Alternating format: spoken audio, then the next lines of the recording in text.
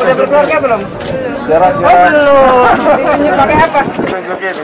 Tunjukin, tunjukin. Ini eh, maaf. Tadi bukunya, bukunya. Bukunya tunjukin kalau uangnya satu juta nggak berkurang. Dapatkan rezeki tambahan dengan total Rp600.000 bagi para penonton setia Rano Entertainment. Jangan lupa untuk like dan komen sertakan daerah asal teman-teman di kolom komentar. Informasi selengkapnya untuk rezeki tambahan dengan total Rp600.000 bisa teman-teman lihat di link deskripsi video ini. Udah berkeluarga belum? Jarak Oh belum. Ditunjuk pakai apa? Tunjukin, tunjukin. Ini eh, maaf. Tadi bukunya, bukunya. Bukunya tunjukin kalau uangnya satu juta nggak berkurang. Oh, untuk.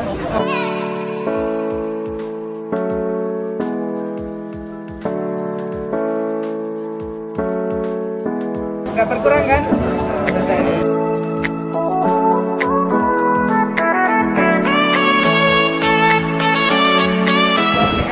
Oh BSI. Oke. Buat apa di sini? Ah.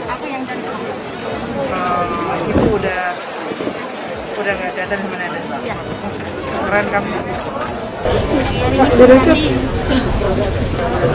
Coba dicek bener nggak satu juta? Tunjukin, tunjukin, bener nih uangnya nggak kurang satu juta. Buat apa? Kan lupa berapa belum? Oh, buat Ya kan ini buat biaya hidup, terus yang gajiannya buat dikirim, oh, yang gajian buat dikirim, dikirim kirim ke orang tua. Kan saya di sini kos. Orang tua di mana? orang tua di Purbalingga. Purbalingga. Di sini kos. Dikirim berapa ke orang tua kalau upah gitu? Ya gajiannya bu, Semuanya? enggak, ya berarti 500 kan se setengah gajinya. Oh, setengahnya. Ah. Oke. Ya udah terserah sih mau ngambil semua yang penting manfaat ya. Itu kan duitmu. Ya Bu. Iya, iya, sama-sama. Terima kasih buat Pak Presiden lewat Ibu Ida Fauziah. Berkat bantuannya ini untuk kita semua. Oh, udah. Udah. Oh iya wes. Es udah pasangan sama orang tua ya. Ya, Pak terima kasih. Eh, Berikut ini adalah cara pembukaan rekening kolektif bagi penerima BSU untuk memudahkan penyaluran bantuan subsidi upah yang telah memenuhi persyaratan dan belum memiliki rekening Bank Himbara akan dibukakan rekening baru secara kolektif. Yang pertama adalah BPJS Ketenagakerjaan dan Kemenaker akan memfasilitasi pekerja untuk membuka akun rekening bank secara kolektif di Bank Himbara.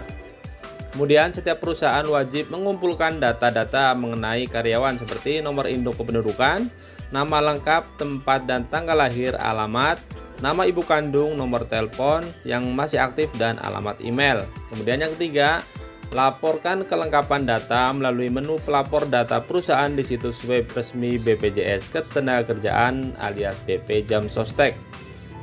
Kemudian yang keempat, data calon penerima BSU akan dipadan, dipadankan dengan data penerima bantuan sosial bansos lainnya. Jadi teman-teman akan dipadankan apakah teman-teman sudah mendapatkan bansos yang lain apa belum untuk lolos di BSU dan apabila perusahaan sudah melaporkan data-data setiap karyawannya kemudian Kemenaker akan memberikan formulir untuk pembuatan rekening baru ke HRD kantor masing-masing dan perusahaan akan membagikan formulir tersebut kepada karyawan-karyawannya untuk mengisi data-data karyawan tersebut. Dan nantinya perusahaan akan mengantarkan formulir-formulir tersebut ke bank himbara terdekat untuk proses pembuatan rekening baru. Setelah rekening jadi, maka dana sebesar 1 juta rupiah siap dicairkan oleh para karyawan. Semoga informasi ini bermanfaat. Jangan lupa subscribe dan menyalakan lonceng notifikasinya agar teman-teman semua mendapatkan informasi-informasi terupdate dan terbaru dari kami tentang bermacam-macam berita dan bantuan sosial dari pemerintah. Terima kasih. Wassalamualaikum warahmatullahi wabarakatuh.